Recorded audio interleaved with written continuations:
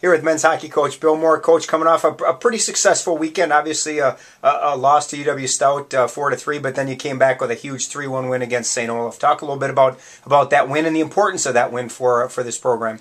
Well, I think that it's, it showed the guys that when we play the right way, we play hard and we play well in our own zone, it gives us a chance to beat anybody. I mean, you look at the 4-3 loss to Stout, and yeah, it was disappointing. We felt we should have won that game, but they turned around and beat St. Thomas 4 nothing the next night. So um, you were competing, you know, you look at Gustavus 2-1, you look at uh, Stout 4-3, and then we beat St. Olaf. So we are, again are very very excited with where we're at. I think we still have some progress to make yet, and and hopefully we'll we'll do that as time goes on.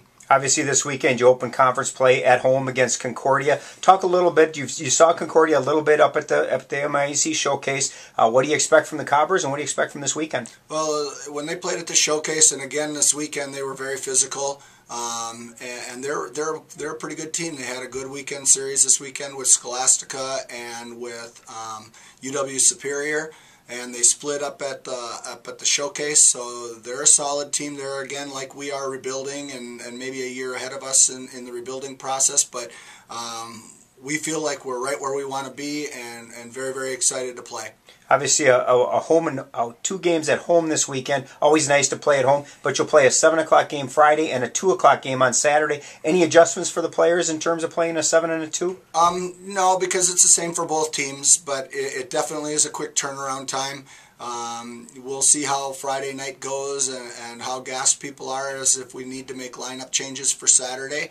But uh, right now, it, it, we'll just see how it goes. But the other thing that makes it a very, very good weekend is we also have our JV home this weekend, and they're going to play a Saturday night, Sunday afternoon game. So it's going to give us that opportunity to bring our entire program together and do a little parent reception and uh, kind of tie everybody together early in the season.